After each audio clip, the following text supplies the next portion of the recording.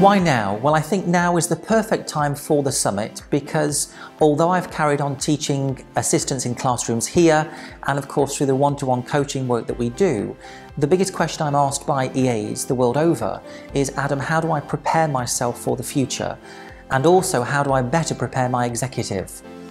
I'm therefore confident that those that attend the summit will build the new capabilities, the new skill set, and transition into being transformational executive assistants.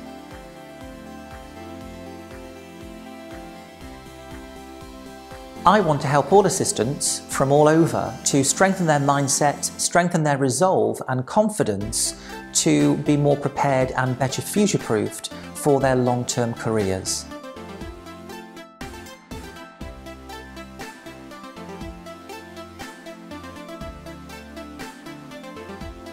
Okay, so the four elements of transformational leadership include, for example, uh, inspirational intelligence, which is when an assistant pushes the boundaries, sets new goals and objectives for themselves that also support the wider organisation and in turn their executive, but more so it pushes the boundaries and perceptions of what the EA role really is.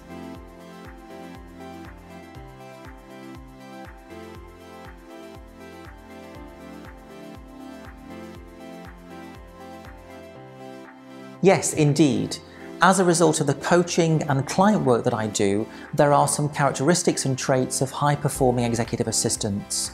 One of those I've spoken about previously is independence, and that comes in two forms, independence of thinking, but also independence of actions, in other words, independent responsibility.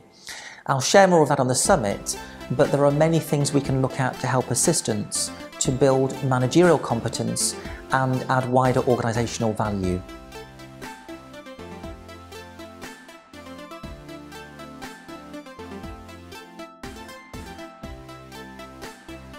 I can say that every assistant who attends the Global Summit will become a transformational assistant and move forward with confidence, vitality and a renewed aspiration.